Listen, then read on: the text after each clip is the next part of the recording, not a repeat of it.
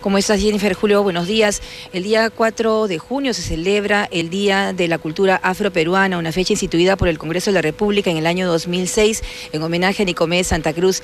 Y es una fecha propicia para eh, llegar a cabo también todas las expresiones multiculturales y bilingües en el tema de educación. Estamos con la ministra de Educación, Patricia Salas. ¿Cómo está, ministra? Muy buenos días. Bienvenida a TV Perú Noticias. Estamos aquí con un mapa eh, realmente eh, que expresa todo el trabajo que viene realizando el sector de educación en materia de educación multicultural bilingüe.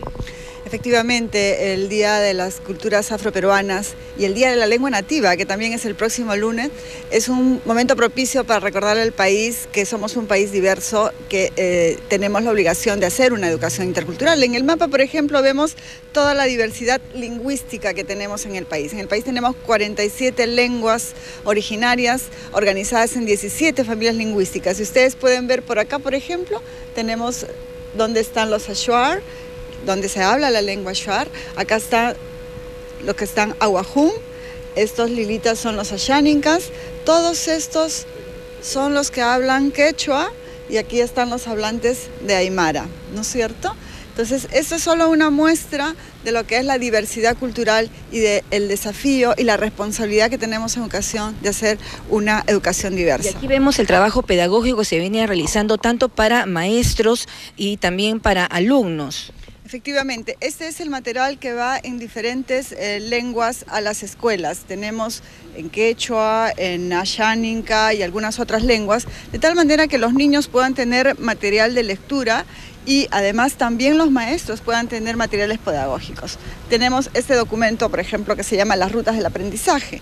Las Rutas del Aprendizaje es un instrumento pedagógico que está en todo el país para los profesores desde inicial hasta quinto de secundaria en castellano y también tienen su ruta de aprendizaje para trabajar en lenguas originarias, que va complementando lo que tenemos en castellano. La idea es que estos textos estén incorporados en todas las áreas, digamos, de matemática, en todas las áreas de, ciencias, letras. En todas, en todas. Estamos empezando por comunicación y matemática, estamos trabajando todo lo que es ciudadanía y ciencias y así vamos a abarcar el conjunto de los aprendizajes que necesitan tener nuestros niños y nuestras niñas. Y la idea es que en el sexto grado de primaria todos los niños que tienen una lengua originaria puedan expresarse, escribir, leer adecuadamente en su lengua y en castellano son niños bilingües y ya luego en secundaria entramos a idiomas extranjeros. ¿Y de cuántos niños estamos hablando? ¿De cuál es la población, digamos, escolar, digamos? Eh, nosotros estamos hablando más de un millón de personas que este, eh, tienen lenguas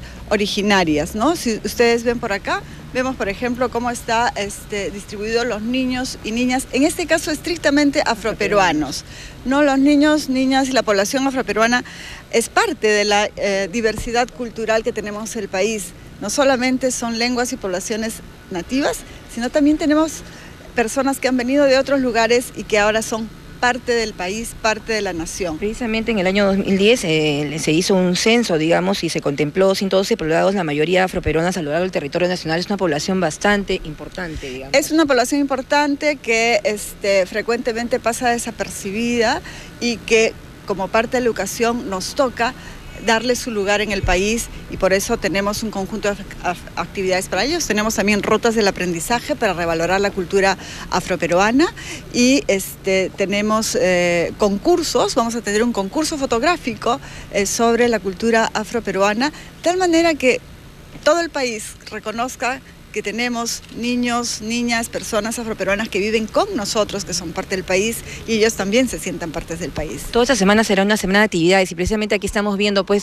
lo que va a ser el, eh, el diálogo intercultural sobre la historia del pueblo y el concurso fotográfico construyendo la memoria histórica del pueblo afroperuano. Claro, la, Dirección de eh, Educación Intercultural Bilingüe tiene eventos, talleres y un conjunto de actividades de sensibilización, de capacitación y este, eh, de trabajo pedagógico para que los maestros, las familias y las comunidades estemos en la misma ruta de acción de revaloración de las culturas en el Perú, de educación intercultural para todos y de trabajo bilingüe intercultural con los niños que tienen lenguas originarias y en este caso con los afrodependientes que no tienen una lengua originaria, pero que tienen un aporte cultural importantísimo para el Perú. Bueno, muchas gracias, ministra Patricia Salas, por estas declaraciones. Bien, sabes, ustedes estamos celebrando entonces la Semana de la Cultura Afroperuana y es importante pues el desarrollo de todas estas eh, lenguas también a nivel nacional para mejorar el aprendizaje de los niños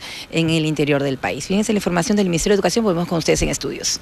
Bueno, gracias Julie por esta información. Y justo detrás de Julie podíamos ver allí un banner porque también se va a presentar hoy día eh, unos tomos educativos denominados Historia del pueblo afroperuano y sus aportes a la cultura del Perú. ¿no? Van a ser presentados también en el Congreso de la República esta, esta información importantísima. ¿no?